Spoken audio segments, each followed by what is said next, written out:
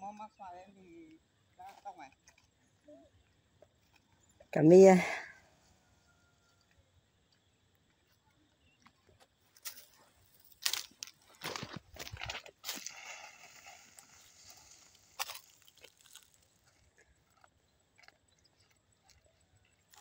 để mình ăn mắc vài tông này cho ra? Sáng chiều?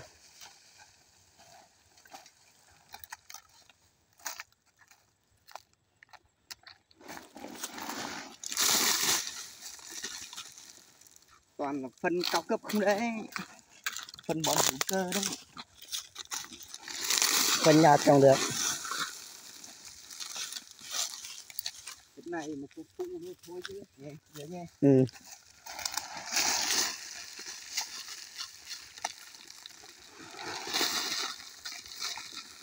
này vài năm nữa là năm hai ba tấn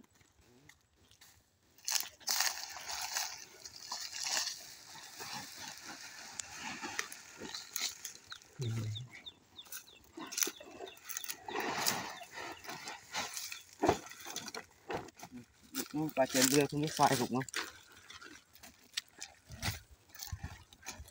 Mà mình đứng từ xa. Để làm về. Lủng ư? Ta xài là này à? rồi đâu mà con đến nhìn nó ăn xoài nhà mình ai trồng xoài nhà mình đã xài còn non mà rớt rồi? Xoài còn non mà rụng hết rồi.